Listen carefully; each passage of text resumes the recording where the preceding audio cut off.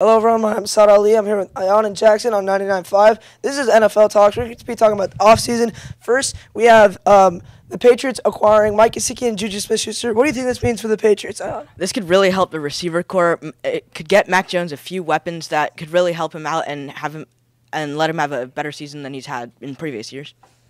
All right, now Jackson, we have the acquisition of C.J. Gardner Johnson. The Lions picked him up for really cheap. How do you think this is going to help their defense? Well, it's definitely going to help him because he had the most picks last year in the NFL, so it's definitely going to help them get more, of a get a better defense and try to rebuild their whole team. How do you think about C.J. Gardner Johnson? He's pretty young, and the Lions in general are pretty young. Do you think they could have acquired a veteran to support them, uh, to support their younger players? Mm, no, I don't think so. All right, that's great. And now, Ayan, we have um, sorry, one more for Jackson. We have the acquisition of Jalen Ramsey, a blockbuster trade to the Miami Dolphins. How do you think this is maybe going to push them into a playoff spot and win the AFC East? Well, they got him for cheap, so that will help them keep their salary cap low. So then they'll definitely have a much better defense than they did before, so which would help them guard the rest of their division and help them get to the playoffs. Now, one for you, Ayan. Uh, we have the your favorite team, the New York Giants, acquiring Darren Waller. What do you think this means for them? Can they possibly make a push for the NFC East title?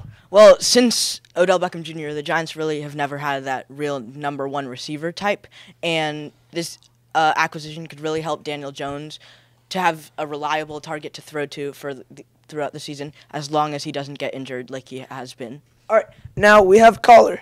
Yeah, so I want to talk about a team that's all, that has had a very interesting offseason. That's the Philadelphia Eagles. Uh, they lost a lot. Like, there's no two ways around that. But I think they did some big things in the draft. They bring in D'Andre Swift as well, who could be that number one back after Miles Sanders left. It felt like they they brought in the right pieces to replace their players. What do you guys think of their offseason? Uh, yeah, I think they had a pretty good offseason. Obviously, they lost a lot, but I think they replaced them with um, players who are similar in skill set, which is which kind of fits their. Uh, they picked good team players for their system that'll help them succeed and make a Super Bowl run this year. I think that they're going to come out of the NFC as the NFC champs and face either the Bengals or the Chiefs in the Super Bowl. What do you think about this? Uh, I definitely think they're Super Bowl contenders, and they'll probably get back there this season. As Giants fans, are you scared? As a Giants fan, are you scared of the Eagles based on their offseason?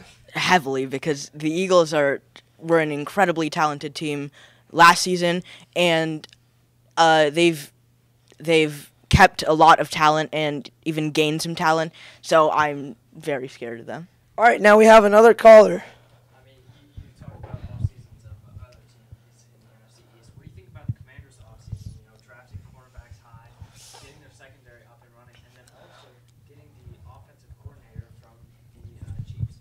Yeah, so I think the offensive coordinator from the Chiefs, I think that's going to be a big pickup. They still have a really weird quarterback situation where they have a veteran who was on quite possibly his last two or three years, I think, and a rookie who has very little competitive experience as he played for North Carolina, which isn't a great football program in itself. I think they've had a weird offseason. I really do like their defensive additions of cornerbacks because their defensive line and linebackers have always been really good, but their secondary has always been lacking.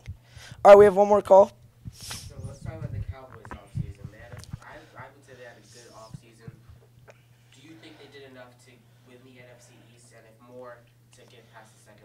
I don't. Th- I think they finished second, right behind the Eagles by a game or two. I do think they definitely make the playoffs, and I believe they can make a great run. But you know how the Cowboys are in the playoffs; it, it never goes well for them. Jackson, do you care to comment? Uh, no, I don't care to comment about that. All right, how about you, Ayan? Uh, I don't think the Cowboys can beat out the Eagles this season. I think if they have.